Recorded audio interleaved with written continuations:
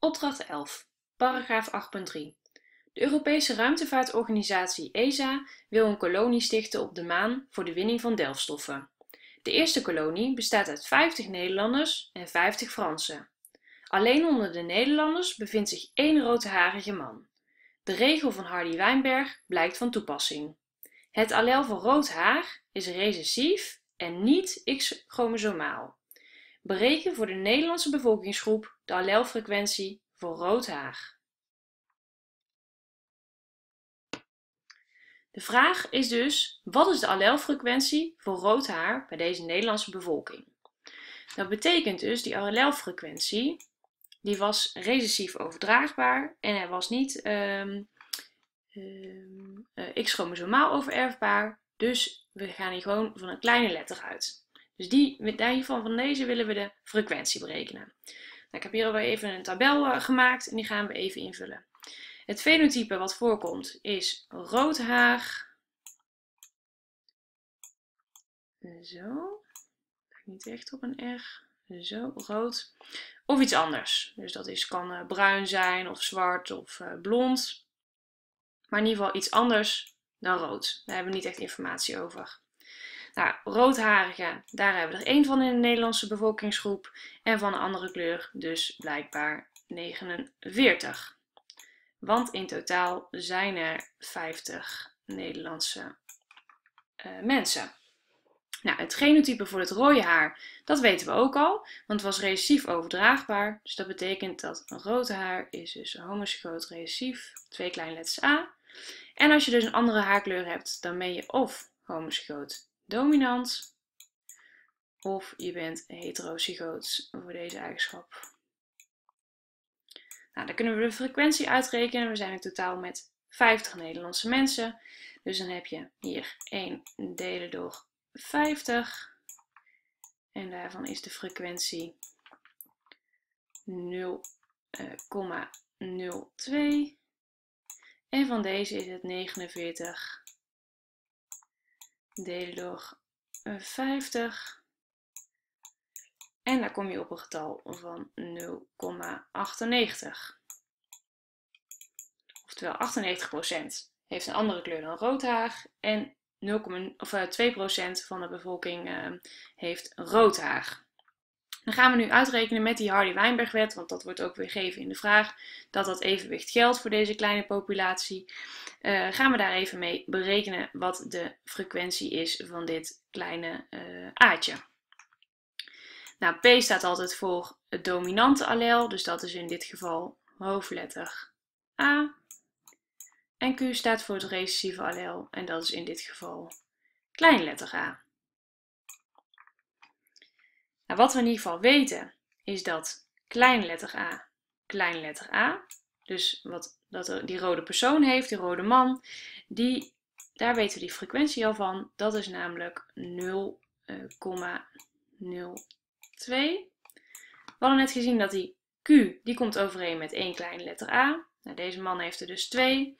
Oftewel, dit komt overeen met q in het kwadraat.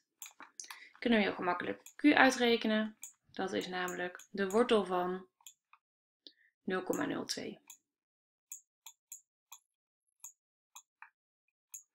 En dat is 0,14.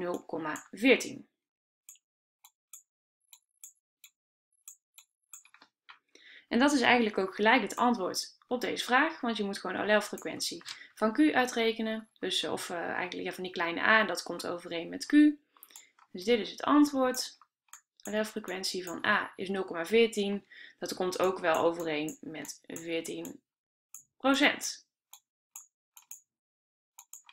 Dus 14% van de bevolking heeft zo'n kleine letter A in zijn genotype staan. Wat je nog meer kunt doen natuurlijk, bijvoorbeeld voor een vervolgvraag of uh, om je te controleren of het echt wel een Hardy-Weinberg-wet is, uh, kun je natuurlijk ook nog even Q uitrekenen op deze manier. P en Q is namelijk 1, dus dan is P is 1 min 0,14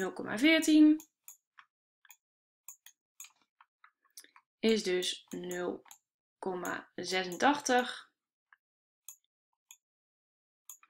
Nou, vervolgens zou je bijvoorbeeld nog uh, kunnen uitrekenen um, wat ehm, de kans is om homozygoot of heterozygoot te zijn voor deze eigenschap.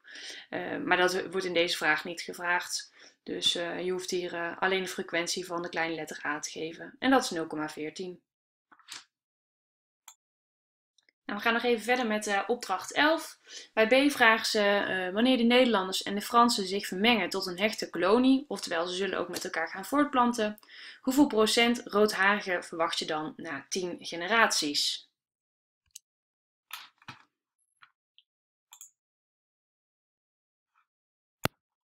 Nou, we gaan nog even verder met het schema wat we net ook al hebben gebruikt. Alleen moeten we daar dus nu andere getallen in opschrijven. Um, we hebben bijvoorbeeld hier um, weer één roodharige. Dat is natuurlijk hetzelfde gebleven. Maar we hadden in totaal 100 mensen, namelijk 50 Nederlanders en 50 Fransen. Dus dan houden we nog um, ehm, 99 mensen over die een andere haarkleur hebben dan rood. Nou, de frequentie van rood haar is in dit geval 1 honderdste.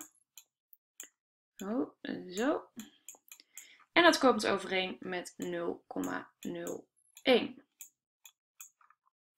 Nou, deze komt overeen 99. Delen 100. Komen we op 0,99. Nou, ze willen weten hoeveel procent roodharigen, dus dat zijn mensen die homozygoot recessief zijn. Dus daar willen we hoeveel, uh, ja, het aantal procent van weten. Dus in dit geval is dat, uh, hadden we dat hier ook al opgeschreven. En de frequentie die komt overeen met 0,01. En dat is dus eigenlijk q kwadraat. En dat kunnen we wel even mooi schrijven.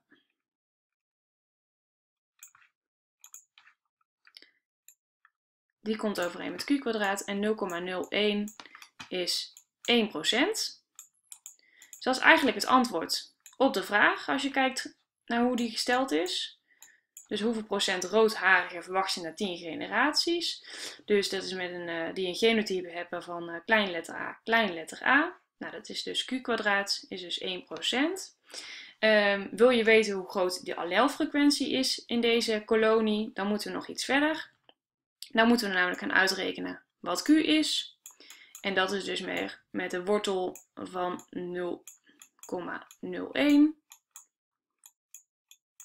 Dat is 0,10.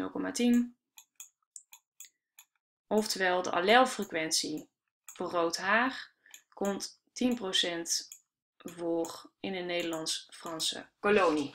Maar dat vragen ze niet in deze vraag, maar dus je moet heel erg goed opletten hoe de vraag precies wordt gesteld. Dus het antwoord op deze vraag is 1%.